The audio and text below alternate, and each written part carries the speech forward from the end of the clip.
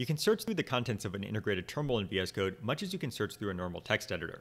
In this integrated terminal, I'm going to go and run a command that prints out a bunch of outputs. So I'll say ls-r here.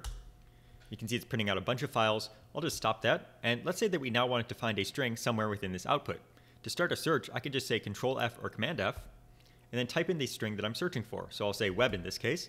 And you can see that VS Code is now going and searching through the integrated terminal and highlighting the occurrences of the string web. So it's found one over here. If I want to browse through some of the other occurrences, I can just use the arrow icons or press enter again, um, and I can go and browse through all of the different occurrences of web within the terminal output here. Once I'm done with the search, I can just hit escape, and the find widget will go away.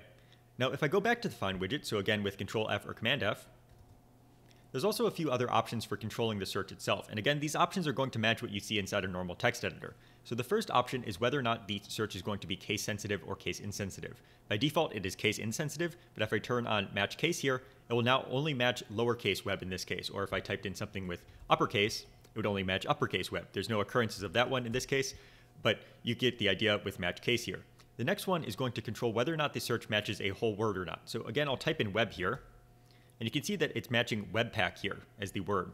Now, if I turn on match whole word, it will only match occurrences of web that appear on their own. So it's not going to match when web appears as part of another word, like uh, Webpack, for example, but it did match web when it appears as part of dist web here, because web is appearing as its own little individual word.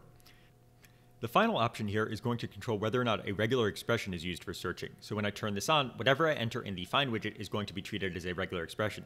So if I say a.b, it's going to match any occurrence of a and then some letter and then b. So if I hit enter here, you can see it's matched a.l.b. If I keep going, a.l.b again, a.n.b. So it just is using the uh, ter search term as a regular expression and using that to match on the terminal output. Using the Find widget plus all of these different options makes it easy to find what you're looking for in the terminal output. So that's a quick look at the terminal Find widget in VS Code.